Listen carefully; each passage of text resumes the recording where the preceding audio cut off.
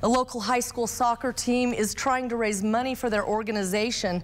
The Century High School Diamondback girls soccer team was out over the weekend washing cars to raise money for new uniforms and equipment. The team will also be hosting an all-ages soccer uh, clinic starting tomorrow at Century High School in Pocatello. The clinic will work with kids on soccer skills, techniques, and scrimmaging. Team players say they want to be able to raise their own money for things they need, and team coaches say the fundraising events are also good bonding experiences.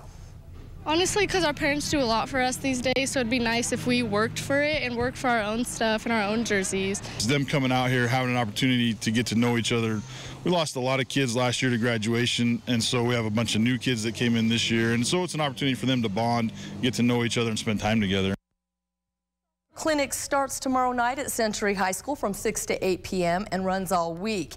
The clinic is $50 if you pre-register and $55 if you pay on site.